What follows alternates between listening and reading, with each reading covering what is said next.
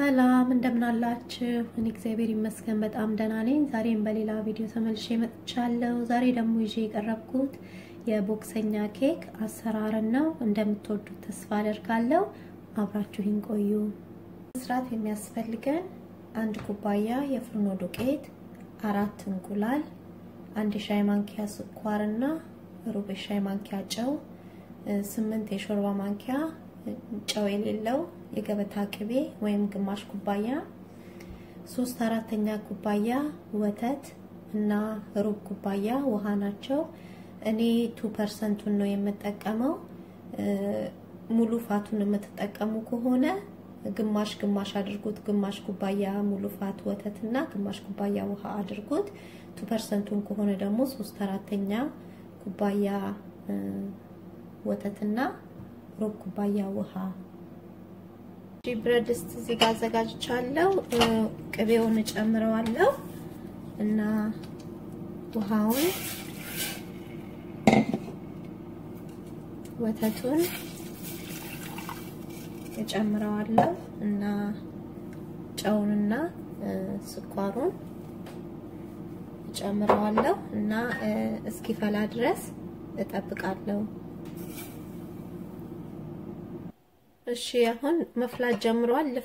ልክ መፍላት ሲጀምር እሳቱን አጠፋዋለሁ እና ዱቄቱን እጨምረዋለሁ እና በእንጨት ማማሰያ በደንብ አርጌ አዋህደዋለሁ እሳቱን ከመክፈቴ በፊት።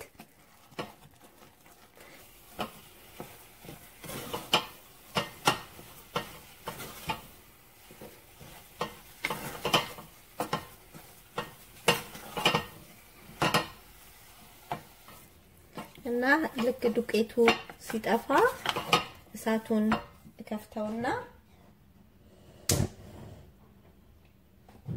እያማሰልኩኝ አበስለዋለሁ።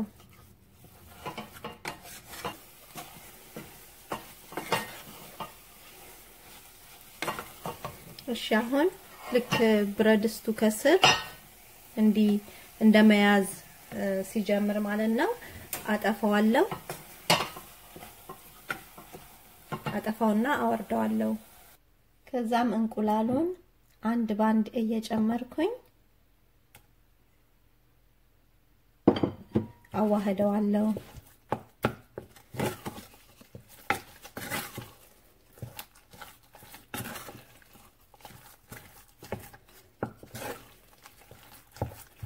እንዲህ ሙሉ ለሙሉ ሲዋሃድ ሌላኛውን እንቁላልም እጨምራለሁ። ሁሉንም እንደዚህ እያደረግኩኝ አንድ ባንድ አዋህጄ እጨርሳለሁ።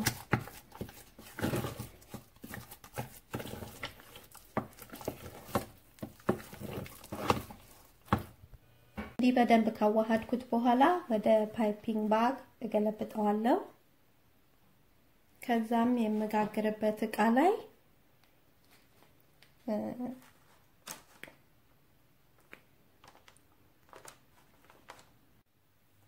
ክፍተት እየሰጠው በመሃል እንዲህ እያደረግኩ አስቀምጣቸዋለሁ።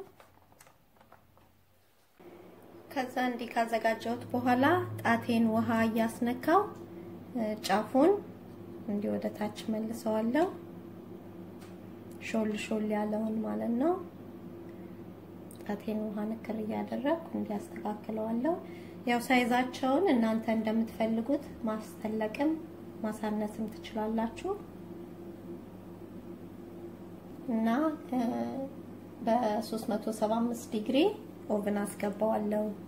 እሺ ለ20 ደቂቃ አብስዬው ለ10 ደቂቃ ደግሞ oven ኡን ካጠፋሁት በኋላ እዛ ቁጭ አርጌ ትቼው ነበር። አሁን አውጥቼዋለሁ። ከቀዘቀዘ በኋላ ክሬሙን እንከትበታለን። የቦክሰኛ ክሬም እናዘጋጃለን። የሚያስፈልገንም ሁለት ከሩብ ኩባያ ወተት፣ ስድስት የእንቁላል አስኳል አንድ የሻይ ማንኪያ pure vanilla፣ ሁለት የሾርባ ማንኪያ የገበታ ቅቤ፣ ሩብ ኩባያ የፍርኖ ዱቄት፣ ግማሽ ኩባያ ስኳር ናቸው። ብረት ድስቱ ላይ ወተቱን እገለብጠዋለሁ እና አንድ የሻይ ማንኪያ pure vanilla አረግበታለሁ እና ሚዲየም ላይ አድርጌ ሂቱን እስኪፈላ ድረስ ሌላውን እናዘጋጃለን። እሺ የእንቁላል አስኳሉ ላይ ስኳሩን እጨምርና በደንብ አርጌ አዋህደዋለሁ።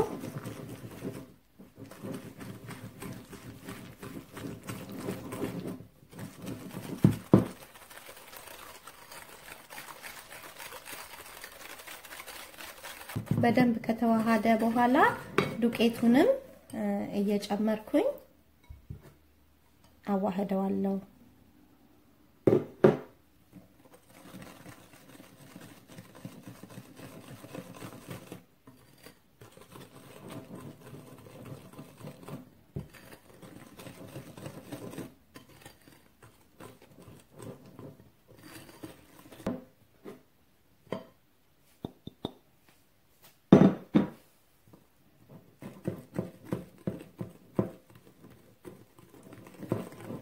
በደንብ ካዋሃድኩት በኋላ ተለቅ ያለ ጎድጓዳ ሳህን ላይ ገልብጨዋለሁ እና እዚህ ጋር ደግሞ ወተቱ ከመንተክተክ ከመጀመሩ በፊት ያዋሃድነው ውህድ ላይ እንገለብጠዋለን እና ቀስ ቀስ እያደረኩኝ እየጨመርኩኝ ማማሰሌን እቀጥላለሁ።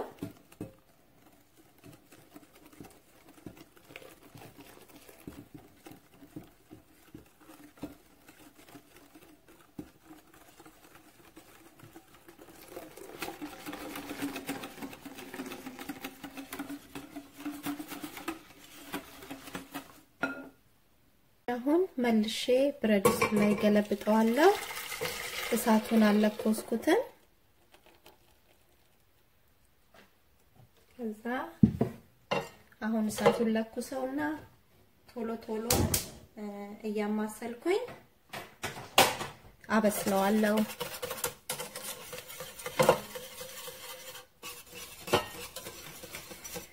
ብረት ድስቱ ከስር እንዳይዝ ማማሰል አለብን ማለት ነው። ቶሎ ነው የሚወፍረው።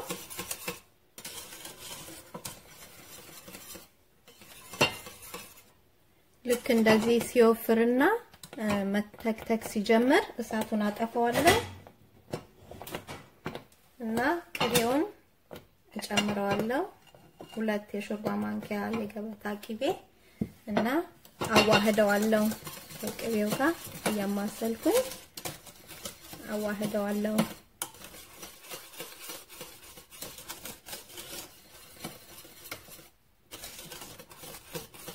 ሽታው ልዩ ነው። በጣም አሪፍ ነው። ከዛም ወደ ጎድጓዳ ሰሃን እገለብጠዋለሁ።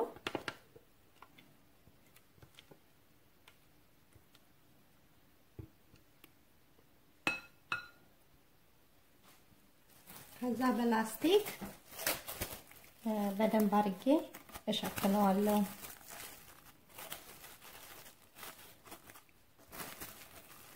ጫን ጫን ብዬ ወደ ታች እንዲህ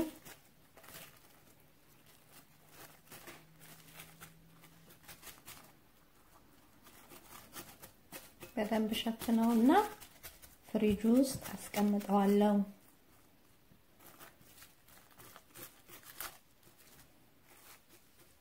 እና እንዲቀዘቅዝ ፍሪጅ ውስጥ አስቀምጠዋለሁ። ማታ ሰርተነው ካደርን በደንብ ይቀዘቅዝልናል። ካልሆነም የተወሰነ ሰዓት ከመጠቀማችን በፊት ፍሪጅ እናስቀምጠዋለን። እንዲህ ወጋ እያደረግኩኝ ውስጡ ሙልት አደርገዋለሁ። ያው እንደዚህ ብቅ ሲል ሞልቷል ማለት ነው። ደግሞ እንዲህ ከፈት እያደረግንም መሙላት እንችላለን። እንደዚህ መሙላት እንችላለን። ትንሽ የስኳር ዱቄት ነስነሳ አደርግበታለሁ ከላይ እና ይሄን ይመስላል። እንደምትወዱት ተስፋ አደርጋለሁ። የሚተርፈውን ክሬም ለብዙ ነገር መጠቀም እንችላለን። ለኬኮች፣ ለዶናት ውስጡ ለመሙላት እንጠቀምበታለን ማለት ነው። ይሄን ቪዲዮ ከወደዳችሁት like፣ share፣ subscribe ማድረግን አትርሱ። subscribe አድርጋችሁ ቤተሰብ ለሆናችሁ comment ለምትሰጡኝ፣ ለምታበረታቱኝ ሁሉ ደግሞ እጅግ አድርጌ ነው የማመሰግነው። በሌላ ቪዲዮ እስከምንገናኝ እግዚአብሔር ሰላም ይብዛላችሁ። ባይ